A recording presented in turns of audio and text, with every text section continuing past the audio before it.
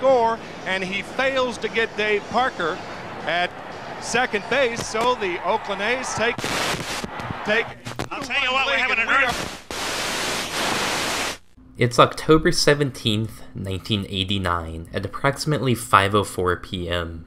The San Francisco Giants are about to face off against their across the bay rival, Oakland A's, in Game 3 of the World Series. As fans are filing into the stadium and ABC Sports reporters are showing a highlight reel from the previous game, the ground starts to violently shake.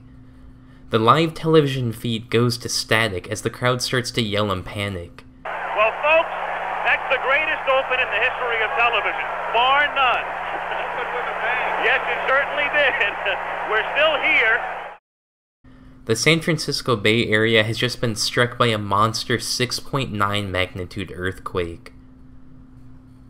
The earthquake was forever immortalized not only for its massive damage, with a total close to $12 billion adjusted for inflation, but also its impact on the World Series.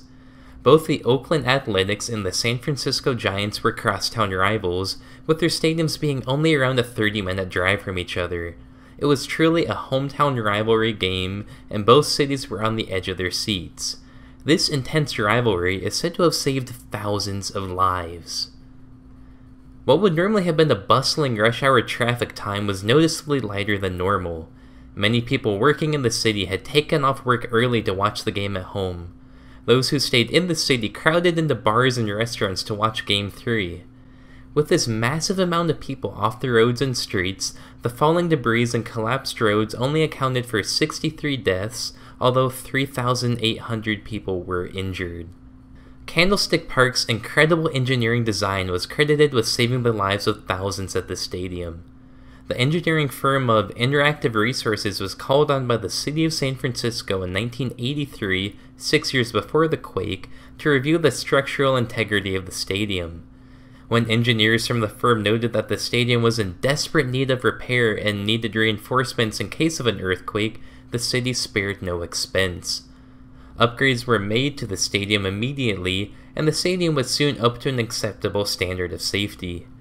When the ground violently shook on that fateful October day, the upgrades proved their worth as thousands of spectators sheltered in place until the shaking stopped. Interactive Resources was immediately called on to inspect Candlestick Park, and although some repairs were needed, the stadium was back to normal operating standards within 10 days. What could have been a complete disaster was avoided thanks to the fortunate foresight of the city of San Francisco. There hadn't been a major quake on the fault line since the famous 1906 earthquake, so city planners could have just as easily ignored the need for upgrades. Luckily for thousands of fans that day, they didn't. After the earthquake, news reporters at the stadium jumped into action, reporting on the damage. The Goodyear blimp, which was in the air floating to cover the World Series, was quickly commandeered and used to assess the damage and coordinate recovery efforts with first responders. With the game cancelled, both teams were instructed to return home. With the collapse of the Bay Bridge, Oakland players were forced to detour through San Jose on the team bus just to make it home. The mayor of San Francisco wanted to postpone the World Series for an entire month to ensure that the city had enough time to recover to host the game, but the commissioner of the MLB threatened to move the game elsewhere if this was the case.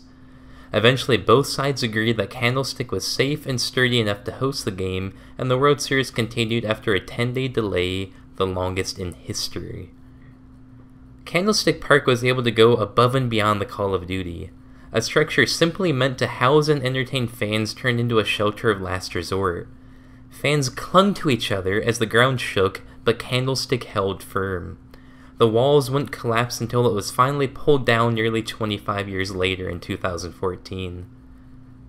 With that, the 1989 World Series earthquake and Candlestick Park are now a part of our Archive of Everything.